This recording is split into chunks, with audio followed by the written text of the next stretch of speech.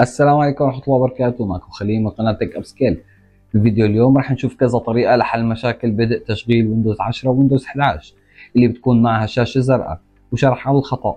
وفي حال كنت بدوامة الإصلاح التلقائي ال auto repair أو لما يظهر لك الخطأ لم يبدأ جهاز الكمبيوتر الخاص بك بشكل صحيح. Your PC did not start correctly أو حتى مشكلة إصلاح بدء التشغيل لم يتمكن من إصلاح حاسوبك. Startup repair couldn't repair your PC. تابع الخطوات اللي بالفيديو بالترتيب وإن شاء الله المشكلة رح تنحل عندك. وهلأ يلا نشوف.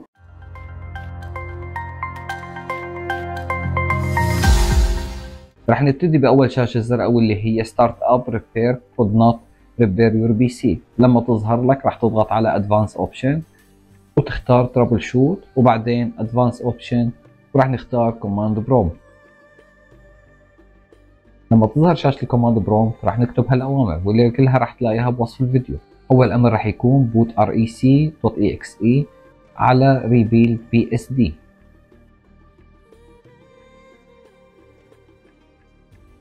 استنى لحتى يخلص ونكتب الأمر الثاني. bootrec.exe على fix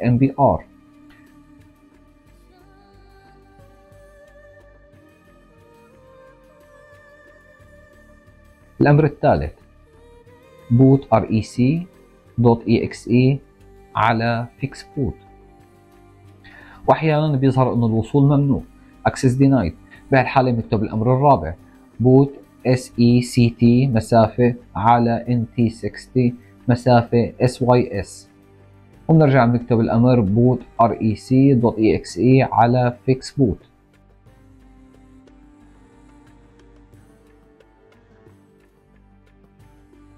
وبعدين بنكمل بالامر الخامس. DISM مسافة على اونلاين مسافة على cleanup image مسافة على restore health وهذا الأمر ممكن يأخذ شوية وقت ليخلص. وبعدين بنكتب الأمر السادس. SFC مسافة على scannow واللي كمان ممكن يأخذ شوية وقت ليخلص. وبس خلص راح نكتب الأمر السابع. CHKDSK مسافة على R C نقطتين. وبتغير الحرف C في حال النظام كان عندك على قرص ثاني.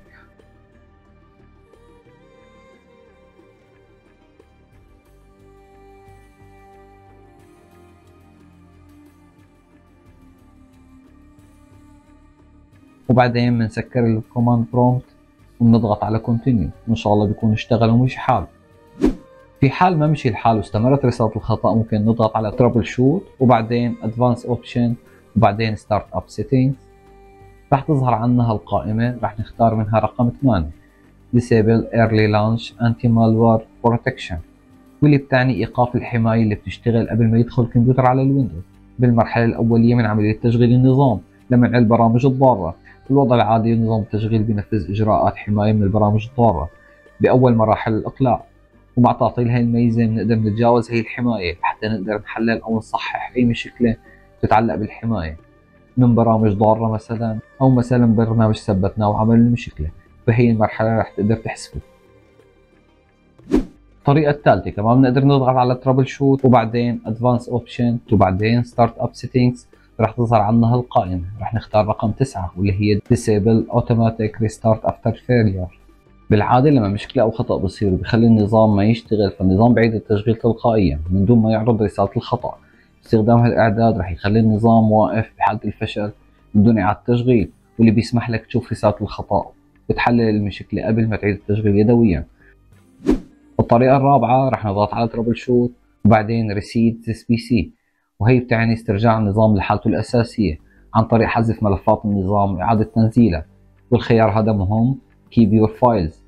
انه يحتفظ بملفاتك بالجهاز وبس يحذف النظام والبرامج والإعدادات. والخيار الثاني هو remove everything.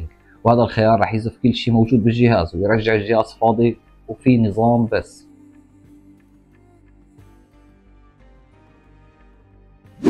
الطريقة الأخيرة شوي متقدمة بس بتنفع مع هذا الخطأ. لتصلح هذا الخطأ بتحتاج فلاشة وعليها نظام ويندوز طريقة عملها بسيطة بتقدر تشوف باليوتيوب موجود كتير فيديوهات. بعد ما تعمل إقلاع من الفلاشة راح تدخل على صفحة تنزيل الويندوز وراح تختار repair your computer وتختار troubleshoot وبعدين advanced option وراح نختار command prompt راح نكتب diskpart وبعدين enter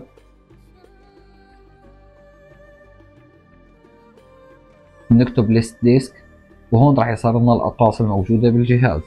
بأغلب الأحيان disk صفر هو قرص النظام. راح نكتب select disk zero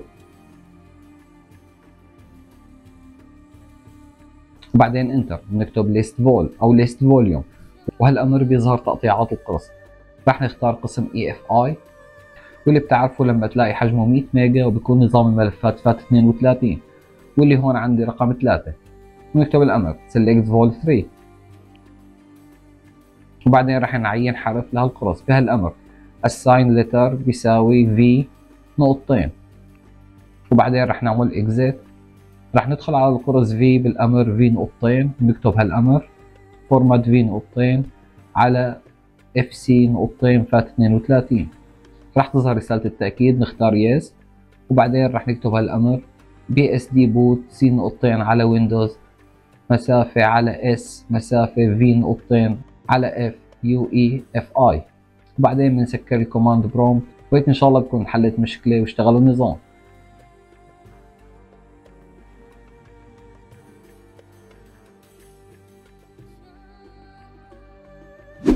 بتمنى إنه الفيديو حل المشكلة. لا تنسى تدعمه ب like وتشاركه مع أصحابك. ومن هون بتلاقي فيديوهات أكثر لحل مشاكل ويندوز ونشوفكم بفيديو جديد. سلام.